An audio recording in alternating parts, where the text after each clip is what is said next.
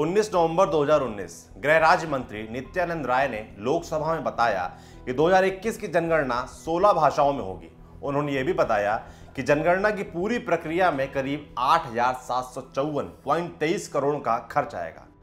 इस बार data collection दो चरणों में किया जाएगा। अप्रैल से सितंबर 2020 तक हाउस लिस्टिंग और हाउसिंग सेंसस और 9 से 28 जनवरी 2021 तक जनगणना, यानी लोगों की गिनती होगी। इसके बाद 1 मार्च से 5 मार्च के बीच जमा हुआ जो डेटा है उसकी प्रोसेसिंग की जाएगी। ये सब तो हो गया भाषण। असली मुद्दा ये है कि ये जनगणना होती क्यों है? कब होती है और इसका पूरा प्रोसेस क्या है? इस वीडियो में हम आपको यही बताएँगे जनगणना। जिसे अंग्रेज़ी में सेंसस कहते हैं। आज़ाद भारत में पहली बार उन्नीस सौ इक्यावन में हुई।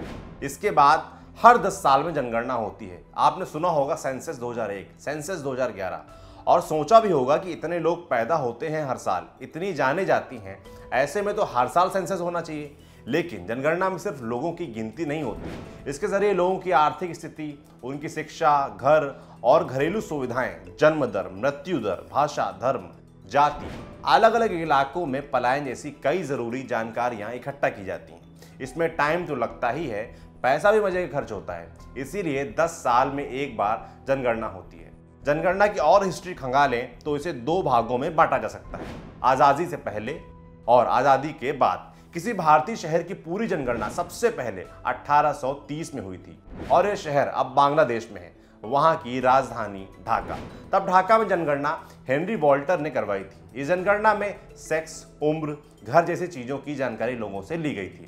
अठारह सड़सठ में देश के अधिकतर हिस्सों में लोगों की गिनती की गई, जिसे अठारह सौ बहत्तर के सेंसस के तौर पर भी जाना जाता है। अठारह सौ इक्यासी के बाद से हर एक 10 साल पर भारत में लगातार सेंसस हुए हैं। आज़ादी के बाद के इतिहास की बात करें तो भारत में सेंसस एक्ट 1948 और 1990 के सेंसस नियमों के तहत पूरा किया जाता है। सेंसस के डेटा का इस्तेमाल केंद्र और राज्य सरकारें पॉलिसियाँ बनाने के लिए करती हैं। लोकसभा, विधानसभा के साथ ही स्थानीय स्तर पर होने वाले चुनाव में रिजर्वेशन के लिए भी सेंसस के डेटा का इस्तेमाल किया जाता है। केंद्रीय गृह मंत्रालय जनगणना के पूरे प्रोसेस और उसके डेटा को मॉनिटर करता है। गृह मंत्रालय के रजिस्ट्रार जनरल और जनगणना आयुक्त के ऑफ़िस के हाथ में ही इसकी पूरी ज़िम्मेदारी होती है। इस तरह 2021 में होने वाले सेंसस के सर्वे सर्वा होंगे अमित शाह। अब आते हैं प्रोसेस पे कि कैसे होती है जनगणना।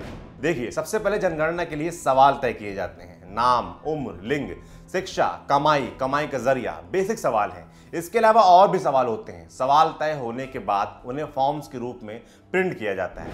सरकारी कर्मचारियों को चुना जाता है। उन्हें प्रॉपर ट्रेनिंग दी जाती है। अब ये कर्मचारी सवालों की पर्ची लेकर घर घर जाते हैं। आपके घर आते हैं। घर वालों से पूछकर सवालों वाला फॉर्म भरते हैं। सेंसस ड्यूटी में लगे लोगों के पास एक अपॉइंटमेंट लेटर और आइडेंटिटी कार्ड भी होता है, जो इस बात का सबूत होता है कि वो जनगणना के काम से आपके घर पे आए हैं। आप उनसे उनका आइडेंटिटी कार्ड दिखाने को भी कह सकते हैं, अगर ज़रा भी शंका हो तो। जनगणना के लिए हर घर से दो फॉर्म भरे जाते हैं। इसमें सबसे पहले हाउसिंग सेंसस होता है, इसमें घर घर के उपयोग, पीने के पानी और शौचालय की उपलब्धता बिजली, संपत्ति आदि से संबंधित सवाल होते हैं। इसके बाद राष्ट्रीय जनसंख्या रजिस्टर से संबंधित सवाल होते हैं। इस सेक्शन में भी इसी तरह कई जानकारियाँ मांगी जाती हैं। अब सवाल ये कि डेटा जमा होने के बाद क्या होता है? देश के पंद्रह शहरों में डेटा प्रोसेसिंग सेंटर बने हुए हैं। देश के घर घर से जानकारी इकट्ठी होने के बाद सारे फॉर्म्स को इन प्रोसेसिंग सेंटरों तक पहुँचाया जाता है। डेटा की processing refine intelligent character recognition ICR software के ज़रिए होती है। इस तकनीक में कंप्यूटर हाथ से लिखे टेक्स्ट को पढ़कर स्कैन करके उसे कंप्यूटराइज टेक्स्ट में बदल देता है। भारत में इस टेक्नोलॉजी का इस्तेमाल पहली बार 2001 की जनगणना में किया गया था। उस वक्त इसे दुनिया भर के सेंसस के लिए बेंचमार्क माना गया। अब आप कहेंगे, इतना तीन झाम कर रहे हैं। ढेरों फॉर्म इतने घर जाना इससे बेहतर कोई ऐप ना बना दी जाए डिजिटल इंडिया का जमाना भी है। तो गृह मंत्री अमित शाह ने आपकी सुन ली है, कुछ हद तक। 18 नवंबर को बताया कि इस बार जनगणना में मोबाइल ऐप का भी इस्तेमाल किया जाएगा। इसमें डिजिटल तरीके से डेटा उपलब्ध होंगे।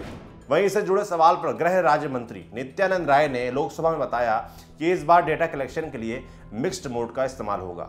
डेटा कलेक्ट करने निकले कर्मचारियों को सुविधा दी जाएगी, या तो वो सीधे ऐप के ज़रिए डेटा जमा करें या फिर पेपर वाला फॉर्म भरवा कर इसे मोबाइल ऐप पर अपलोड करें। अब एक नज़र पिछले, यानी 2011 के सेंसस पर डाल लेते हैं। 2011 की जनगणना में कुल 29 सवाल पूछे गए थे। इसके मुताबिक विश्व की कुल आबादी की 17.5 फ़ीसदी जनता भारत में रहती है। 2001 की जनगणना में यह आंकड़ा 16.8 फ़ीसदी था। 2011 की जनगणना के मुताबिक भारत की आबादी एक अरब 21 करोड़ है। उत्तर प्रदेश करीब 20 करोड़ लोगों के साथ देश में सबसे ज़्यादा आबादी वाला राज्य है और सिक्किम करीब 6 लाख लोगों के साथ सबसे कम आबादी वाला राज्य। 2011 में ही पहली बार एनपीआर नेशनल पॉपुलेशन रजिस्टर, राष्ट्रीय जनसंख्या रजिस्टर तैयार किया गया था। इसे 2016 में सरकार ने जारी किया था। अब जो 2021 की जनगणना होनी है, वो देश की सोलहवीं और आज़ादी के बाद आठवीं राष्ट्रीय जनगणना होगी। इस जनगणना में कुल चौंतीस सवाल पूछे जा सकते हैं, जो कि पिछली जनगणना से पाँच ज़्यादा होंगे। यह पहली ऐसी जनगणना होगी जिसमें लोगों से पूछा जाएगा कि उन्हें इंटरनेट का एक्सेस है या नहीं। इस सेंसस में आज़ाद भारत में पहली बार अन्य पिछड़े वर्गों, ओबीसी से संबंधित, आंकड़े भी जमा किए जाएँगे। ये पहली बार होगा जब जनगणना के आंकड़े एक मोबाइल ऐप के ज़रिए जुटाए जाएँगे। 2021 की जनगणना दुनिया की सबसे बड़ी डेटा एक्सरसाइज होगी। इसे 33 लाख कर्मचारी मिलकर पूरा करेंगे। इस बार जनगणना में लोगों की आबादी तो गिनी ही जाएगी, साथ ही लोगों के सामाजिक, आर्थिक डेटा भी जमा किए जाएँगे। जम्मू कश्मीर, लद्दाख, उत्तराखंड और हिमाचल प्रदेश के बर्फपात से प्रभावित इलाकों में 11 सितंबर से लेकर 30 सितंबर 2020 के बीच जनगणना की जाएगी। यहाँ पर रिवीजन राउंड 1 से 5 अक्टूबर के बीच होगा। आखिरी में सबसे बड़ा सवाल डेटा सिक्योरिटी का, जिस पर पिछले काफ़ी समय से बहस भी हो रही है। फेसबुक और व्हाट्सएप जैसे सोशल मीडिया प्लेटफॉर्म्स पर सरकारों की कड़ी नज़र है कि कहीं वो यूज़र के डेटा का गलत इस्तेमाल तो नहीं कर रहे हैं। ऐसे में जनसंख्या के लिए जुटाए जा रहे डेटा की सिक्योरिटी को लेकर भी आशंकाएँ हैं। सरकार के मुताबिक सेंसस डेटा पूरी तरह सीक्रेट होता है। इसे किसी भी सरकारी या प्राइवेट एजेंसी से शेयर नहीं किया जा सकता। हालाँकि राष्ट्रीय जनसंख्या रजिस्टर से संबंधित कुछ जानकारी का इस्तेमाल सरकार आदि अपने उपयोग के लिए कर सकती है, जाँच वगैरह में। माने सिर्फ़ और सिर्फ़ सरकार। ऐसा ही हो तो अच्छा भी है। ये पूरी जानकारी आपके लिए जुटाई थी हमारे साथी आदित्य ने। आपको ये वीडियो कैसा लगा, हमें कमेंट बॉक्स में लिखकर ज़रूर बताएँ। बाकी ये वीडियो फेसबुक पर देख रहे हैं, तुम्हारे पेज को लाइक करें यूट्यूब पर देख रहे हैं, तुम्हारे चैनल को सब्सक्राइब करें। इसके अलावा आप हमें इंस्टाग्राम और ट्विटर पर भी फॉलो कर सकते हैं। शुक्रिया।